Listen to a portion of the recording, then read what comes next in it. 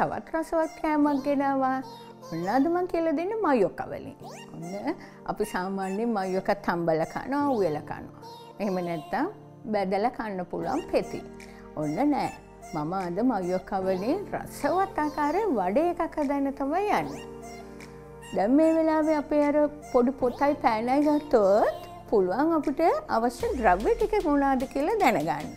ඔන්න මෙතනදී අපිට මුලින්ම අවශ්‍ය වෙනවා තඹා පොඩි කරගත්තු මයොක්ක ග්‍රෑම් පන්සීයක් ගත්තා. හාල් පිටි ග්‍රෑම් සීයක්. කඩල පිටි අපි ගන්න ඕන ග්‍රෑම් පණහා. ඔන්න ඒ ගාවට රසාන්නුව ලුණුකුඩු අවශ්‍ය වෙනවා අපිට.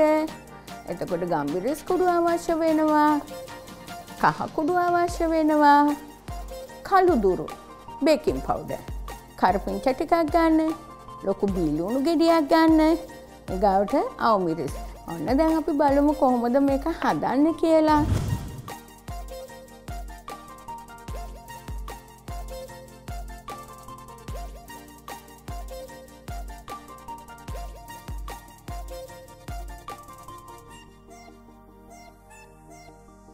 අපි තම්බා පොඩි කරගත්තු මයෝ කටිය අපි භාජනයකට දානවා. ඊගාට මං කිව්වනේ හාල් පිටි ගන්න කියලා ඔන්න හාල් පිටි ටිකත් එකතු කරා. ඔන්න ඊගාට කඩල පිටි. අපි මෙතනදී කඩල පිටි ග්‍රෑම් පණහක් එකතු කරනවා.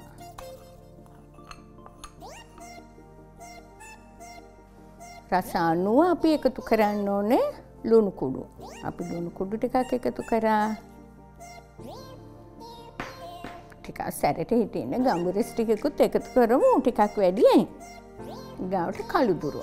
අපි කළුදුරුත් අපි මේ වගේ තේ හැන්දක් එකතු කරනවා. ඔන්න ඒ ගාවට අපිට තියෙන බේකින් පවුඩ. අපි බේකින් පවුඩ තේ හැඳි භාගයක් එකතු කරනවා. ඔන්න අපි කහකුඩුත් තේ හැඳි භාගයක් එකතු කරා. ඔන්න අපේ මේ මිශ්‍රණයට ඊගාවට අපි එකතු කරන්න යන්නේ කරපිංචා අවුමිරිස් බිලූුණු අපි එකතු කරන අපි බිලූුණු ගෙඩිය සුද්ද කල්ලා අරං අපට පුළුවන් බිලූුණු ගෙඩිය පොඩියට කපා ගන්න පුළුවන්.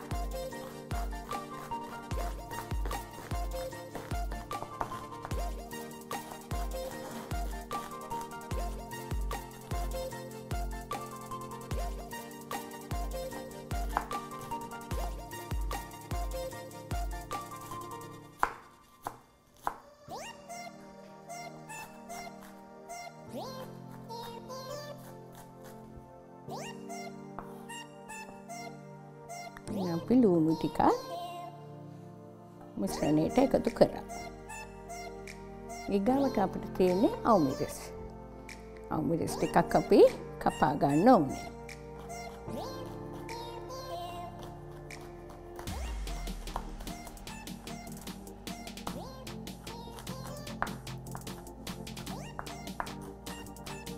පොඩ්ඩක් කුඩාවට කපා ගන්න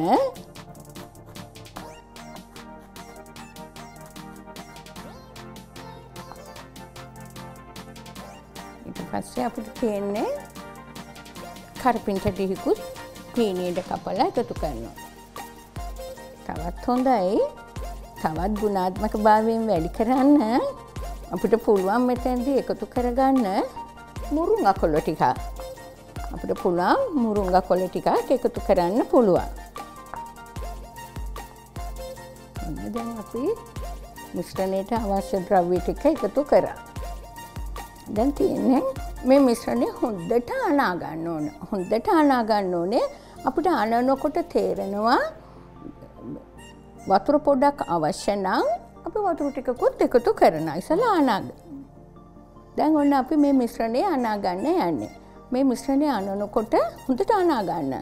හොඳට මේ ද්‍රව්‍යයන් එකට එකතු වෙන්න හොඳට අනාගන්න ඕනේ. මහිතන අදව මේ මයොකා වඩේ එකක් හදල බලයි අපි මේකට එකතු කරන්න ඕනේ දැන් ඔන්න වතුර ටික්ක ටික එකතු කරන්නා ගොඩක් වතුර එකතු කරගන්නෙත් නෑ වතුර පොඩ්ඩක් එකතු කරනවා.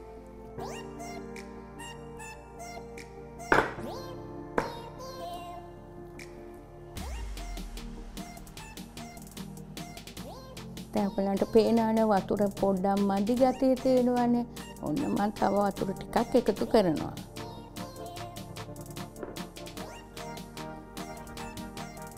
තමන්ගේ අතට දැනෙනවා මේක අපිට වඩේ එකක් හදාගන්න ඕන ප්‍රමාණයට වතුර එකතු වුණහම පේනන්නේ ඔන්න බලන්න මිශ්‍රණය හොඳට ඇනිලා තියෙන්නේ. දැන් ඊට පස්සේ තමයි අපි මේකෙන් කුඩා බෝල හදාගන්න ඕනේ ඔගුලන් දන්නවන උළුදු වඩේ එක හැඩේ උළුදු වඩේ එක හැඩේ දන්නවා. අන්න ඒ ආකාරයට අපි මේ වඩේ එක හදනවා.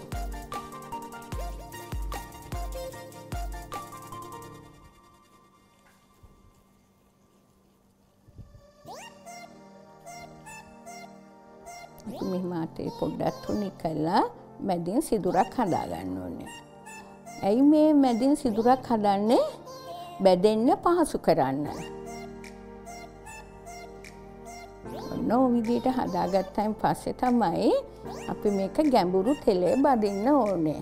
ගැඹුරු තෙලේ බදින්න ඕනේ. අර මං කලින් දවසකත් කිව්වා ඕනම දෙයක් ගැඹුරු තෙලේ බදිනකොට තෙල් ඕනට වැඩිය රත් වෙන්න බෑ. මධ්‍යම ප්‍රමාණයෙන් රත් කරන්න ඊට පස්සේ තමයි අපි බැදගන්න ඕනේ රන්වන් පාටට. බැදලා බලමුණේද ලස්සන්ට මේ වඩේ එක තියෙන විදිහ. ඔන්න දැන් අපි තෙල් එක රත් කරගත්තා. දැන් අපිට තියෙන්නේ අර මම පෙන්නවා ආකාරයට හදාගත්තු වඩේ. ඔන්න බලන්න හැඩේ තියෙන්නේ අපි ඕන කෙනෙක් දන්න දෙයක් තමයි උළුඳු වඩේ. ඒ ආකාරයට තමයි තියෙන්නේ. දැන් අපි ටික ටික දාලා බදිමු. ඕනට වැඩිය රත් කරගන්න එපා. තෙල්ලක රත් වුණොත් වෙන්නේ ඇතුලේ බැදෙන්න කලින් ඇතුලේ බැදෙන්න කලින් වටේ කර වෙනවා. එතකොට ඇතුලේ අමු වෙනවා. අපි පොඩ පොඩ තෙල් එක මධ්‍යම ප්‍රමාණයට රත් වෙනකොට තමයි හදාගත්තු වඩේ ටික දාන්නේ. උඩට තෙල් පොඩ්ඩක් මෙහෙම වක් කරන්න.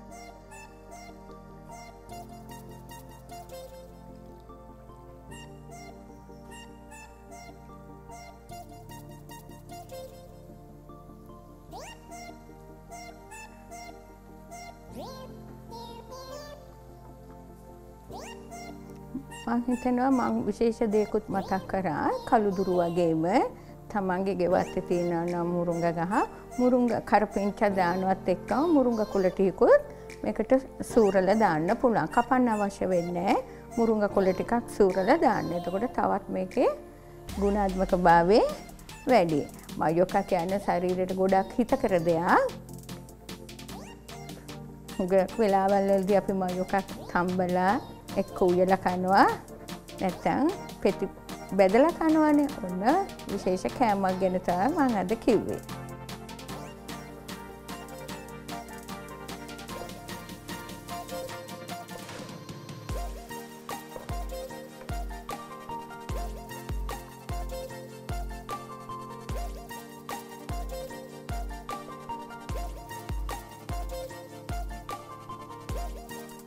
ඔන්න මම දැන් මේ වඩේ එක බෙදලා ඉවරයි.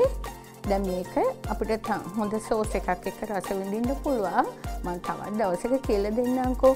හොඳ චට්නි එකක් හරි සෝස් එකක් හරි හදන හැටි. තවත් දවසක අපි හමු වෙමුකෝ. Yeah.